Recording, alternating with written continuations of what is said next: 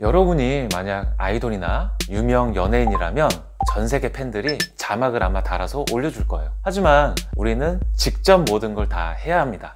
그래서 전 세계 팬들을 위해서 다양한 나라의 언어로 자막을 입력하는 방법을 오늘 같이 한번 배워보도록 할게요.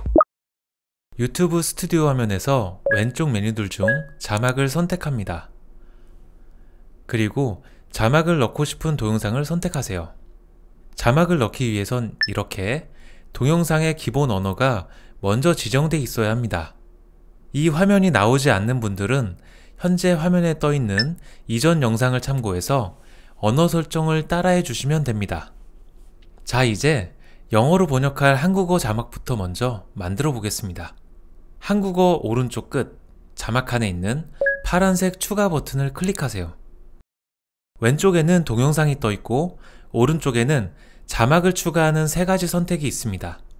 새 자막 만들기를 선택해 보겠습니다. 새 자막 만들기는 유튜브 안에서 영상 편집 프로그램처럼 자막을 직접 입력하는 기능인데요.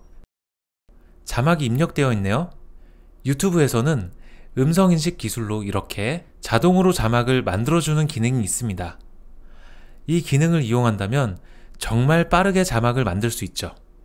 왼쪽 자막 리스트에서는 잘못된 자막의 내용을 변경하면 되고요.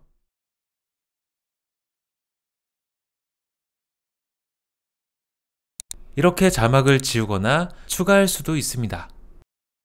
그리고 오른쪽 영상 아래에서는 자막이 언제 시작해서 언제 끝날지 자막의 시간을 조정할 수 있습니다. 자막을 끌어서 이렇게 drag and drop 하거나 자막 위에 마우스 커서를 올리면 보이는 양 끝에 파란색 조정바를 잡아당겨 자막의 시간을 조정합니다.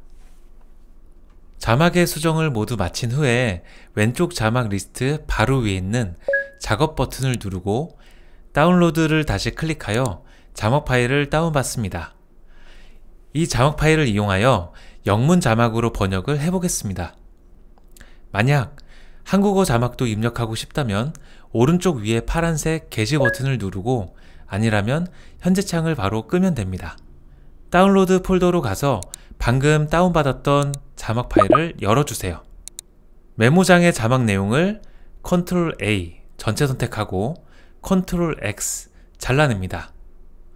구글에서 번역이라고 검색하고 첫 번째 나오는 구글 번역기로 들어가서 방금 복사했던 내용을 왼쪽 칸에 붙여넣겠습니다. 오른쪽에 영문으로 번역이 되었네요. 번역된 영문 자막을 복사해서 원래 한글 자막이 있었던 빈 메모장에 붙여 넣어 주세요. 여기서 잠깐. 자세히 보면 원래는 없었는데 땡땡 콜론마다 빈칸이 생겨버렸습니다.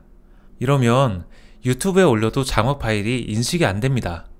그래서 잘못 들어간 빈칸을 모두 없애줘야 합니다. 메모장 메뉴 중 편집, 바꾸기를 클릭하고 찾을 내용에는 땡땡 콜론 그리고 스페이스바 빈칸을 넣어줍니다.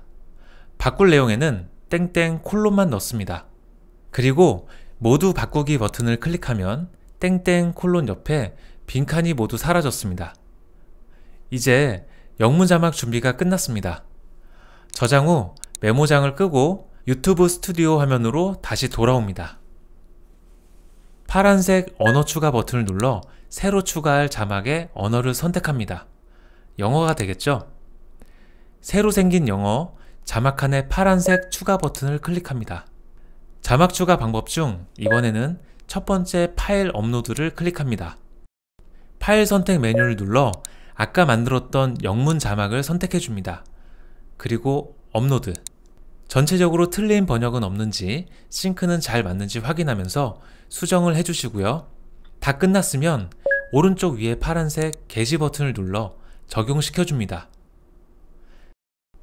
자막이 잘 나오는지 한번 확인해 볼까요? 잘 나오네요.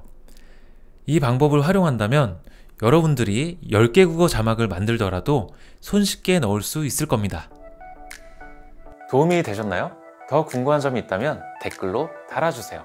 그리고 구독과 좋아요 부탁드립니다. 안녕!